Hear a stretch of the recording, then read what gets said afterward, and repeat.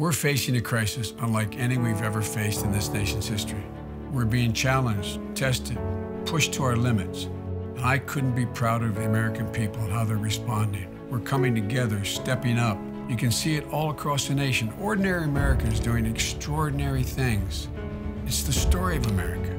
Nowhere is it more true than on the front lines of this crisis. The doctors, the nurses, healthcare workers, first responders, firefighters, cops, caring for others more than themselves, doing their job in the most difficult of circumstances, putting their lives on the line every day, often without the protective equipment they need and deserve.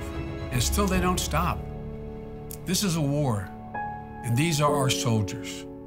As president, I wouldn't send an American soldier anywhere in the world without the equipment and protection they need. We should not do any less for the heroes on the front lines in this battle we're in now. We need to support them, pray for them, and when this crisis is over, never forget what they have done. I've talked about the soul of this nation. We're seeing it. We're seeing it on display in this crisis. Courage, bravery, a belief that we're all part of something bigger than ourselves. This crisis isn't going to defeat America.